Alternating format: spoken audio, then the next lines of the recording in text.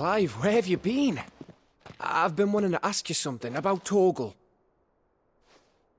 Where did you get him, like, in the first place? Uh, my father brought him back from one of his expeditions into the Northern Territories. They were crossing a snowfield when they heard his cries, and seeing no sign of his pack, they took him in. What do you reckon, Tomes? It certainly adds weight to the theory.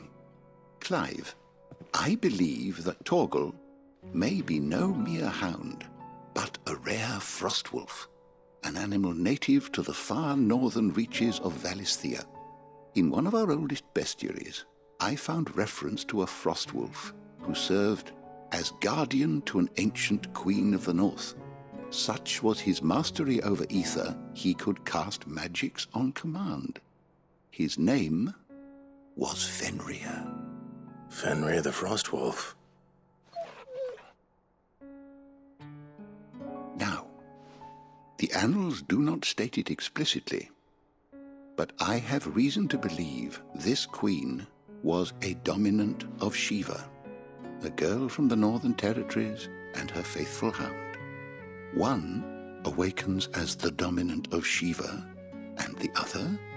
You're saying that Jill granted Torgal his powers? What? Just like Fenrir.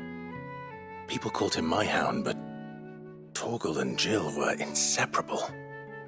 He grew up as a faithful companion to the dominant of Shiva, and years later, his powers awakened. Just when his master needed him the most. You're right. If it weren't for Torgal blasting those bastards to Kingdom Come, Jill would have been for it. Quite. Though Torgal's power is his own, his latent birthright as a Frostwolf. It had only to be unlocked. Oh, get you, Torgal! You're an even finer hound than we thought. And regarding your original concern, you need not fear for Torgal's health. Why, the beast has the appetite of a behemoth. Just this very morn, I found him with his nose buried in my nuts.